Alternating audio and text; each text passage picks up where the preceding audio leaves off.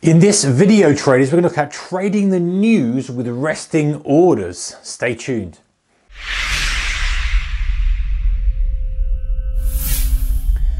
Hey traders, a very warm welcome to you. Okay, so let's just put this big disclaimer out there before we start. This one, if it goes wrong, can go catastrophically wrong. However, if you're managing your risk with small size, if you're doing all the other good things, then you and you accept the risk and you understand the risk, it's a, it's a trading strategy like any other out there. Okay, so Trading the news. Generally, I'm talking about news as in non-farm payrolls, I'm talking about interest rate announcements, all that kind of stuff, stuff that moves the market, stuff that's categorized red generally on your economic calendar, stuff that's categorized as heavy market movers, whatever. You know the stuff, not just the little stuff that never seems to do anything. Now, generally when news comes out, it goes quiet, quiet, quiet it spikes up, it spikes down, and then it does something else. It might go into a trend, it might go either way, it might go back to where it was, but you're often getting this little period of time here where it's spiking. So this strategy is to take advantage of that. Now, some of you watching going, ah, we can get my face completely ripped off. And yes, I agree, you can. However, the idea is that you're fading these levels. So you're putting a resting sell short order at the high and you're putting a resting buy long order at the low. The idea being the oscillations, the kind of lack of liquidity, the ping back and forth is going to get you long or is going to get you short on either way. Now, let's just, before we talk about the rules of this kind of stuff, be aware that if something very surprising comes out, this will just go straight through your short order, order and you'll be significantly offside. However, the reason this potentially could work is that that is rare and the occurrences where it just goes through your order and comes back are more frequent. So you're kind of flipping on its head from your normal strategy of, hey, I want to have, you know, loser, loser, loser, massive winner. It's this kind of winner, winner, winner, winner, massive loser, almost like selling premium with options. You're going to get caught out from time to time with it, but you're kind of uh, decision making process has got to be hey will i get enough juice out of it for the times that it has worked that will offset the time where i get a monster loser? Now if you're trading something like an index or a currency pair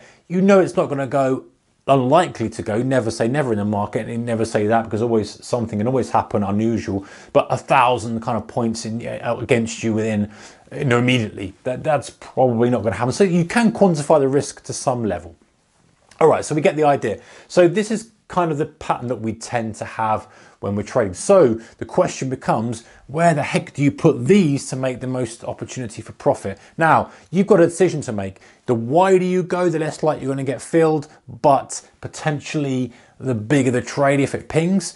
Do you stagger orders and have lots of little orders kind of resting uh, buy orders there, which kind of go and as the market goes through it, it catches all of them and then comes back? That's my kind of preference for this trade, but where do you start that? So one thing you can do, if you go back and look at what's happened in your time frame you're looking at, or your kind of uh, date you're looking at. So whenever you're watching this video now, go back and have a look and see the reaction generally to NFP, to uh, interest rate announcements, to a central bank announcement, anything that's kind of moved the market, flicked it around oil inventories if you're trading crude oil, and see where we've gone. Most of the time, well, I'm, I'm kind of being really generalizing here, but a lot of the time you're going to get markets take out days high and the, the days low and then spring back. So one thing you could do is you could say, hey, if we're near the high, uh, of the day and we've not had much of a range, I'm going to kind of stagger short positions, short entries above the high.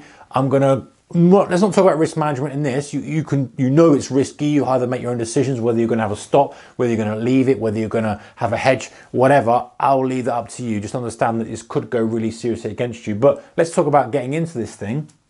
You have a kind of levels above the high. It takes a few of them, comes back, and your idea is, you know, coming out back into a mean reversion type thing. So either the level pre uh, announcement, or you maybe take a few out and look for a further move to the downside here. Because very often you get that ping to the upside, ping to the downside, and if you've got a resting order in there and can get that kind of stretch, that kind of lack of liquidity, that spike in one direction, you're going to get a very good entry. Of course, the caveat being that you have to offset that with the potential risk of it just flying through the highs. But there are ways of mitigating that. So that's one way of doing it. You either look through a level above the high or below the low, depending on where you're positioned.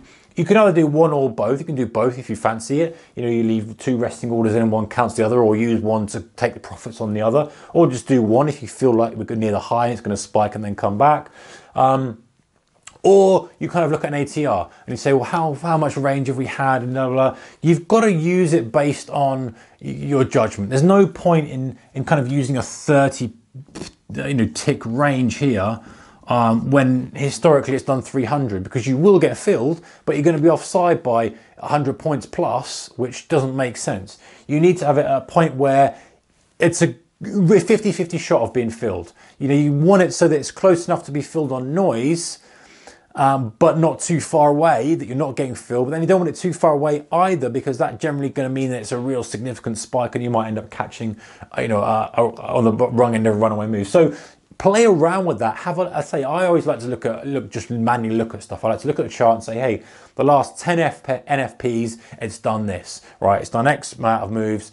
Hey, is it the most scientific way? Probably not but at least you can say, well, you know, it's not approximately 200 point range here, took out the high here. So if I was going to base it on that, which is only, okay, so only a sample size of 10 or whatever it may be, but at least it's giving you sample size based on the current market conditions, give or take.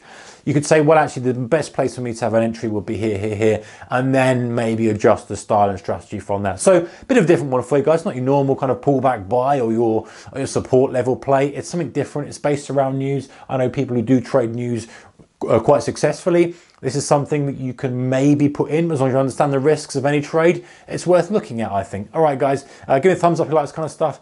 Don't forget to subs hit the subscribe button somewhere along here if you haven't yet already, or consider doing so. And I'll see you in the next one. Take care. Bye bye.